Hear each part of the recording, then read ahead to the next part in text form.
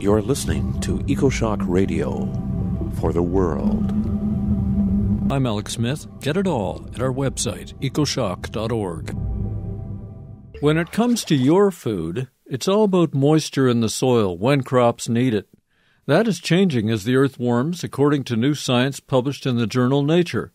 When we load up the atmosphere with carbon based power, we get more drought and worse floods. Our guest is the lead author of the new study.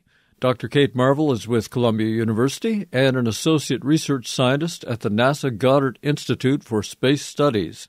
Following her PhD in physics at Cambridge, Kate investigated climate and energy at top research institutions like Stanford, Carnegie, and Lawrence Livermore National Laboratory.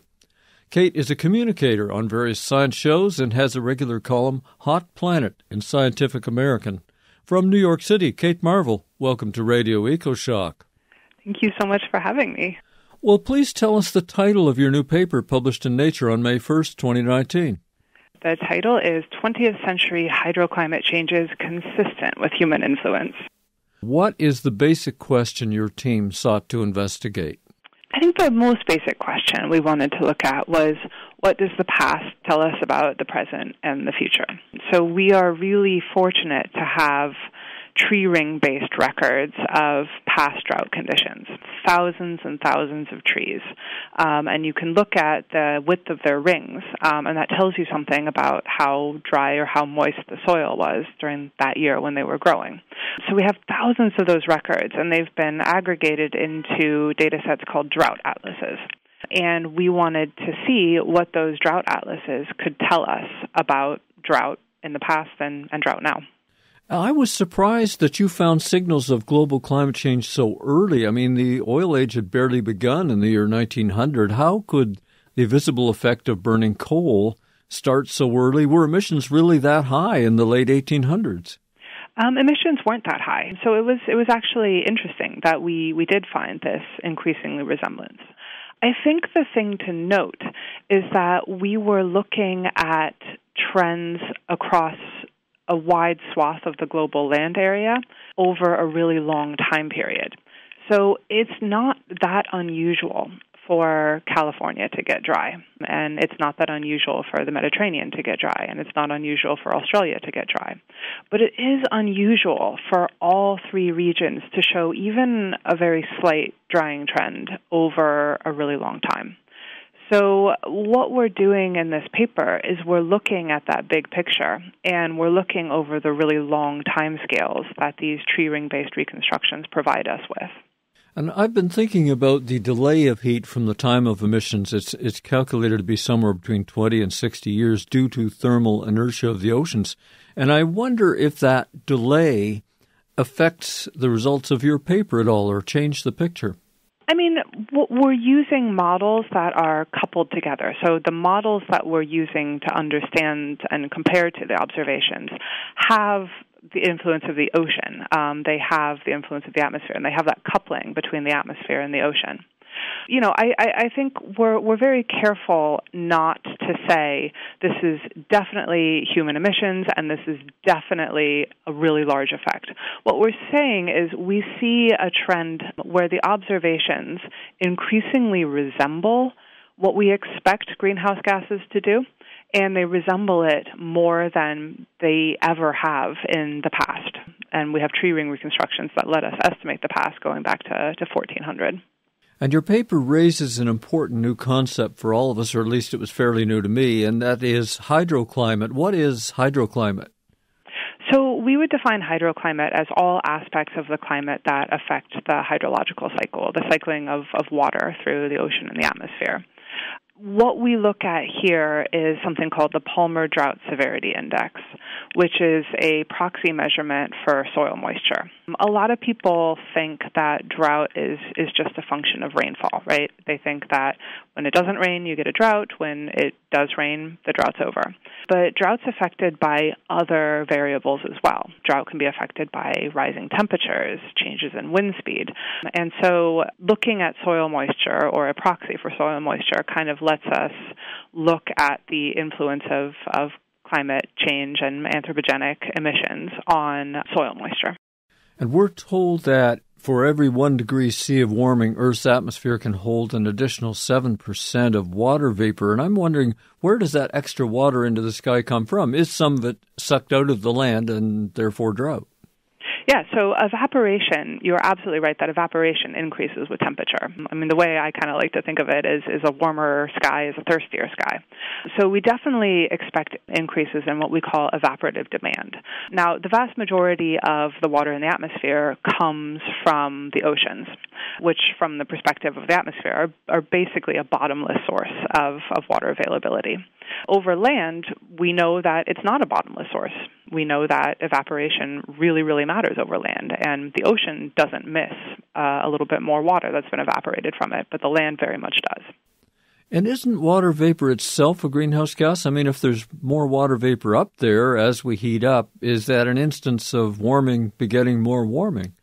Absolutely. So the water vapor feedback is an example of a feedback that we understand fairly well. We know that warm air holds more water vapor, and we know that you put carbon dioxide in the atmosphere, you warm up the air, it holds more water vapor. Water vapor itself is a greenhouse gas. So that's an instance of something that scientists call, and I, I think this is the worst terminology we ever could have come up with. Um, we call it positive feedback. Because normal people hear positive feedback and they think that means I'm doing a great job. But uh, when scientists say positive feedback, we mean something that's really destabilizing, something that can, can add to the warming. And the strange part of this for me, Kate, is if there's more water in the atmosphere, why would large parts of the world continue to get drier? Well, I mean, you have a balance, right? We have a balance between rainfall, increases in rainfalls, and we do expect there to be an increase in heavy precipitation events in the future. But at the same time, you do have that increase in, in evaporative demand. So it's all it's a very complicated picture because you have shifts in rainfall patterns where you expect on, on a very large scale, wet areas to get wetter and dry areas to get drier. But you also have shifts in rainfall patterns because we expect the atmospheric circulation is changing as the temperature gradient between the, the tropics and the poles flattens. So we expect changes in the large scale motion of, of air in the atmosphere, and that can really affect where it rains and how much it rains. And again, you know, drought is is not just about rainfall. Drought's um, about temperature and wind speed and other things as well. Something that we don't explicitly address in this paper, but is going to be really important going forward, is to what extent changes in the land surface can really accelerate or, or slow down the emergence of these drought signals as we go forward into the future, we expect changes in the land surface to matter as well. So uh, there, there have been a lot of really smart scientists. Abby Swann at the University of Washington has been a real leader in this, pointing out that plants are affected by carbon dioxide in the atmosphere. We expect um, the CO2 fertilization effect to make more plants to lead to, to greening in some places. We also expect that it makes plants more efficient at using water. So that greater efficiency which means plants don't dry out the land as much, could be counteracted by the fact that there's more plants.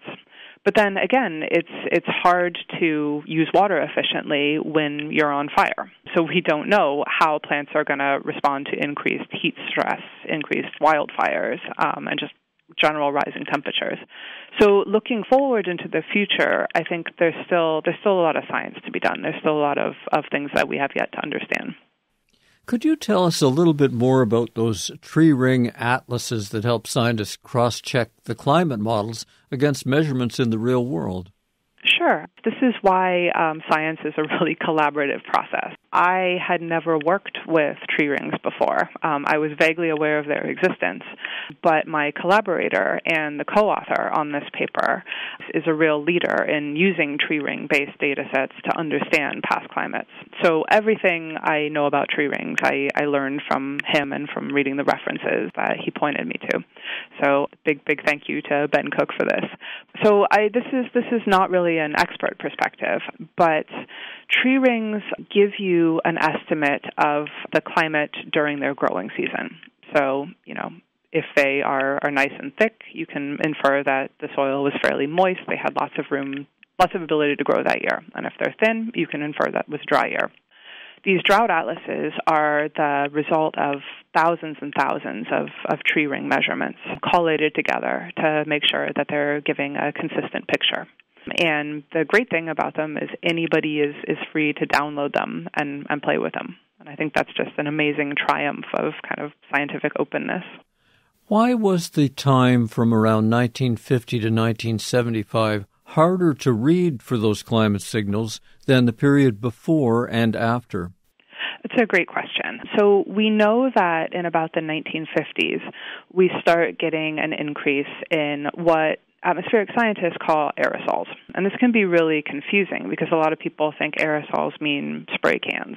But the way we use that word in atmospheric science is we mean we mean basically crud in the atmosphere, as somebody put it to me earlier today. We mean soot, we mean dust, we mean particulates, we mean pollution. And in the 1950s, we see a, a major increase in in the emission of those, you know, kind of what we think of as pollutants. And those have a fairly powerful effect on the climate because they block sunlight. And if you block sunlight and less sun reaches the, the planet's surface, then that has a cooling effect. Now, we're not 100% sure exactly how strong that cooling effect was because we don't know exactly what the emissions were. We don't know exactly what got emitted where. We don't know um, what their effect was on clouds and we don't know to what extent seeding clouds made them more effective at, at, blocking sunlight. But we know the general direction that things should have gone in. And we expect that this increase in aerosol forcing, or this increase in aerosol emissions, would have a, a cooling effect and would have kind of a counteracting effect to, to greenhouse gases. According to the Union of Concerned Scientists, almost half of all the industrial greenhouse gas pollution has gone into the sky since 1988. Why do you think the hydroclimate signal is still harder to read in the 2000s than it was in the days of early industrialization? Yeah, that's the big question, um, and that's something that we really struggled with. What I think is happening is is I think there's three explanations, and the answer is probably a combination of all three and probably something else. So, first, I would say we're talking about signals emerging from noise. And noise decreases with time. It's a lot more unusual to have something going on for half a century than it is to have it going on for a couple decades. So the first is I think the noise is larger. But I think the second uh, possible explanation is the residual role of aerosols aerosols have been cleaned up since the, the 70s, since the Clean Air Act and other environmental legislation in the 70s, but they're not gone. They're still there in the atmosphere, and they could still be having an effect. But the third reason is we know that we have lived through a period of kind of strange climate conditions. From about 1998 to 2013, the climate conditions were characterized by kind of cool anomalies, you know, cool temperatures um, in the tropical Pacific Ocean. And we're not 100% sure what caused that. It's, it's definitely consistent with just a mode of natural climate variability. But the upshot of that is that those cool conditions led to formation of low clouds and resulted in warming that was not as great as perhaps it could have been. Whatever was causing that, it seems to be over now. Um, we had really large El Ninos in uh, warm waters in the, in the Pacific in 20 2015 and 2016. And whatever characterized that, that hiatus, or some disingenuous people called it a pause in, in global warming, whatever caused that seems to be over now. But that could have had an effect as well.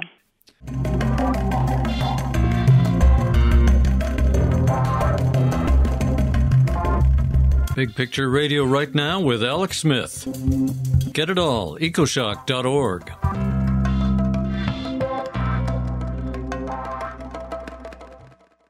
This is Radio EcoShock. I'm Alex Smith with my guest, Dr. Kate Marvel from Columbia University and the NASA Goddard Institute for Space Studies. You can check out her website at marvelclimate.com. Let's talk about some regional projections from the climate models. Why are the Mediterranean countries in Europe expected to dry out more than other parts of the world? Well, regional projections are are dependent on changes in the atmospheric circulation. You know that large scale motion of, of air and water in the atmosphere, and also the the temperature increases. So all of the models basically agree that we should see drying in the Mediterranean. Um, and my co-author Ben Cook has has done a lot of pioneering research showing that there is a really consistent and robust expectation of drying in um, in the southwestern U.S. and Mexico. So I think we should expect drier conditions in those places. When we will see a unambiguous signal in those particular regions. I would expect we would have to wait a very long time. And that's because internal variability, natural, you know, just natural climate variability is large on a regional scale. It's only when you really zoom out and look at that global picture that you see a, a tractable signal emerging.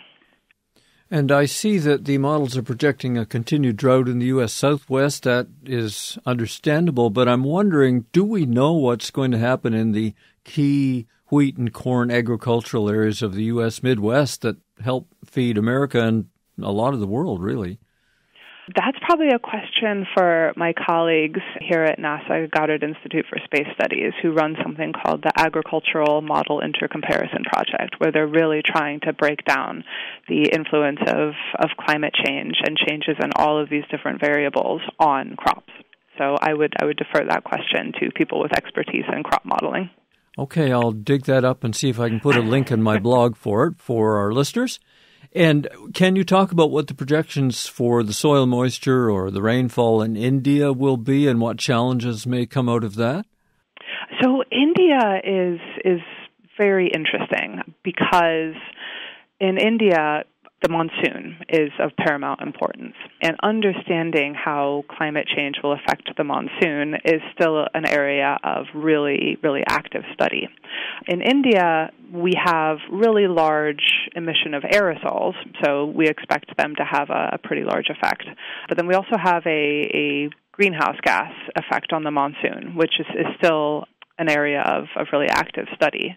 We also expect a pretty big impact in South Asia of irrigation of the fact that we're seeing really large scale changes to the land surface as a result of, of large scale irrigation. We expect that would affect the climate as well. So those projections on, on that regional scale are, are still fairly to be studied, I think. But India might become wetter rather than drier. It might, depending on, on how greenhouse gases affect the monsoon.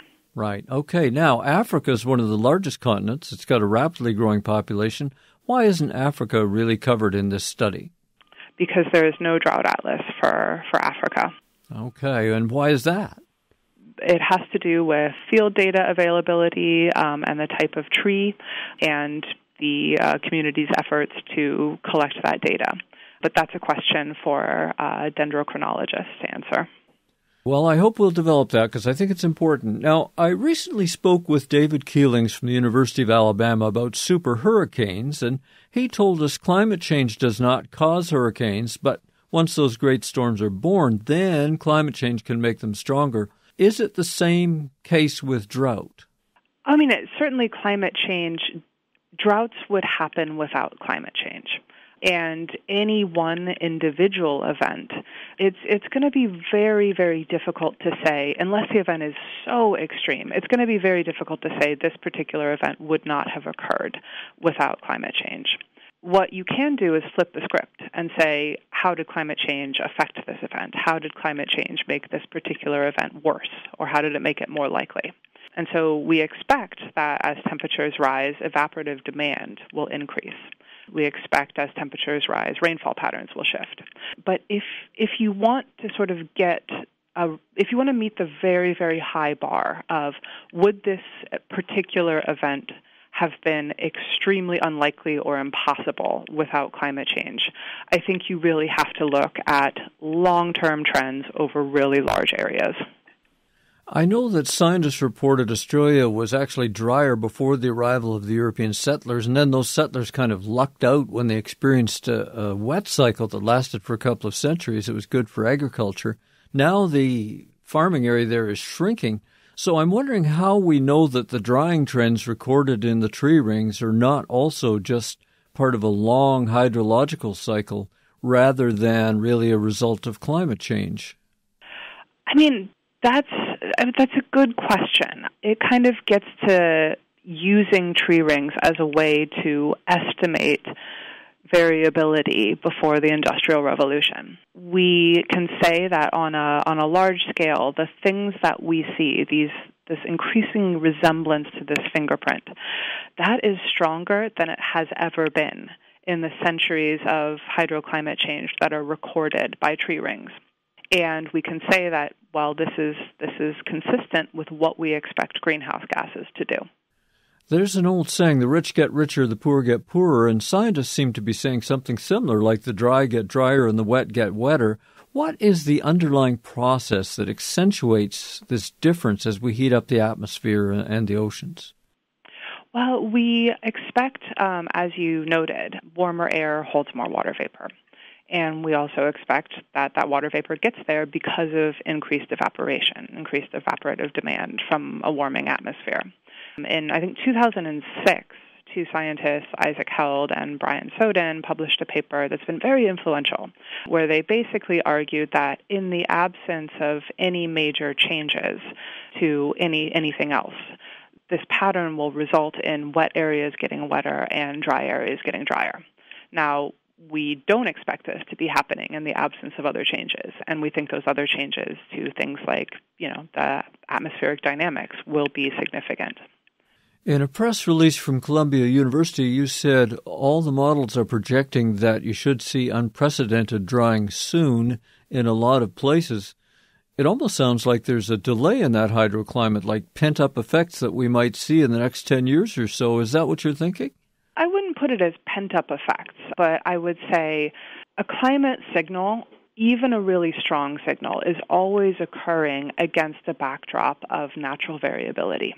And so climate change detection and attribution is is is a signal to noise process. It's it's finding a signal if it's there against the backdrop of of internal variability, against a backdrop of noise. And that noise is to some extent fundamentally unpredictable. You know, I'm not going to be able to tell you if there's going to be a big El Nino in the year 2030. Um, I'm not going to be able to tell you when different modes of different oscillations of the climate system are going to combine in a particular way. So we there's always going to be noise inherent in the system. But what the models are saying is that again on this really really large scale and against you know over a really really long term period, we should be able to see something that is significant against that noise backdrop by the middle of this century. You sound like someone who enjoys science. What are some of the themes you like to mess around with? I love my job because I feel like I learn something new every day. I love the fact that no one person can understand everything about the climate system, about this unbelievable planet we live on. So I find myself very often working on problems where I have to work with oceanographers, I have to work with statisticians, I have to work with physicists, I have to work with land surface modelers. And I love that. I love feeling like I get to learn something new all the time. Are you finding more younger women coming up in science than there were before? It used to be sort of a chorus of male voices on this show, and now it's becoming more and more uh, women scientists, and I love that. Um, I think the Columbia Earth and Environmental Sciences graduate program this year, all of the admitted students were women. So I, I think that's great. Um, I think we still have a lot more work to do, and we need to do this with increasing the diversity, especially the racial diversity of earth sciences. We've been speaking with Dr. Kate Marvel from Columbia University and the NASA Goddard Institute for Space Studies. She's the lead author of a new paper in the journal Nature and talking about climate change starting as early 1900 showing up in the signals. You can find links to this science discussed in my Radio EcoShock blog at ecoshock.org. Kate, thank you so much for getting out here and sharing the science. Thank you so much. Check out the Radio EcoShock website. We're at ecoshock.org. My thanks to all my email correspondents. I could not do this program without your tips and support. Thank you for listening again this week and caring about our world.